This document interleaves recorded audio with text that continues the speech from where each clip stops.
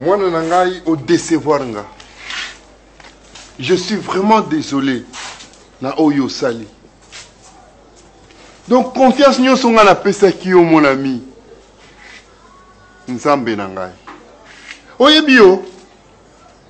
olapaki ndai na miso na nga mpe olapaki ndai na miso ya nzambe ke papa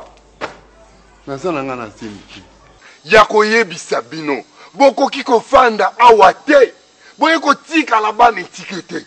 bisika bango bakei ya sika wana bino mpe bolanda bango yango nazwi bokonzi wana ya kolongola bino kolongola bino botelema bokende bolanda bango bisika baza au nom puissant de seigneur jésus christ le dieu de walesa kende nazo comprendre lisusu te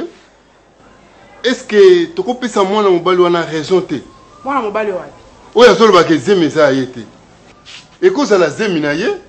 seke babanda na bango baaventure banda kala papa écoute nayebi yo te bengelanga na mon ami ayawa nayebi yo te oyebani na ye merci mon dieu mon roi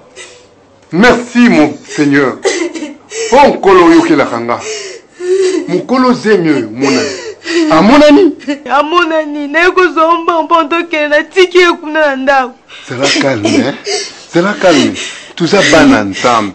libondeli tosengaki au nom de jésus christ le dieu de walesa nzambe wana adesebaka bato te